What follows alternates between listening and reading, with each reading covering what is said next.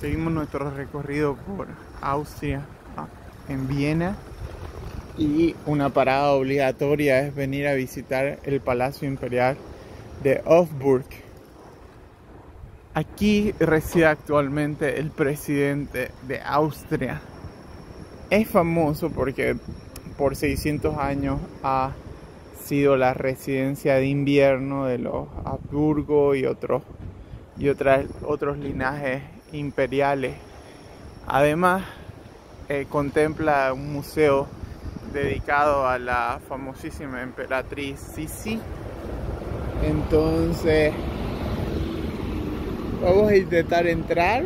No, lo, no sé si nos dará tiempo porque es realmente gigante. También está conectado al tema de la de mm, la escuela de equitación española, eh, que es uno de las de los de los más grandes orgullos de la de lo que fue la corona austrohúngara, ¿no? Y todavía hacen shows, como paso español y demás.